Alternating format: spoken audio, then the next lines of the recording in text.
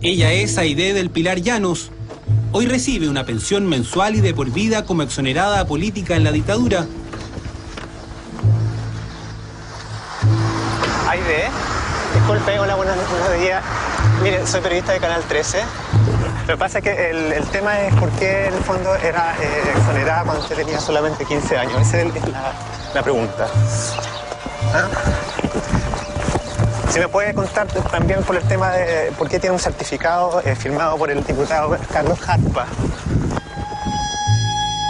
En su carpeta incluyó este certificado del diputado de su zona, Carlos Abel Jarpa, en mayo del año 2001.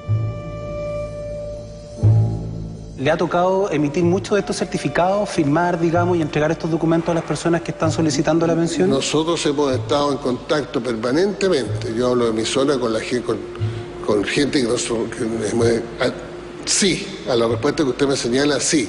Ya. Pero eh, lo hemos hecho siempre con la, con- tratando de tener la mayor eh, exactitud. A gran parte de ellos los conocemos. ¿Qué antecedente pide usted para emitir supuesto. uno de estos certificados? Muchos de ellos los conocemos. ¿Cuántos señora. certificados calcula usted más o menos que ha entregado en los últimos años de este tipo? Varios. Varios. no- no le- no le- 50, 100, 200, 500, 1000, No, más unos de- 1000, más de 1000. más de- ¿No tiene nada que decir respecto a eso?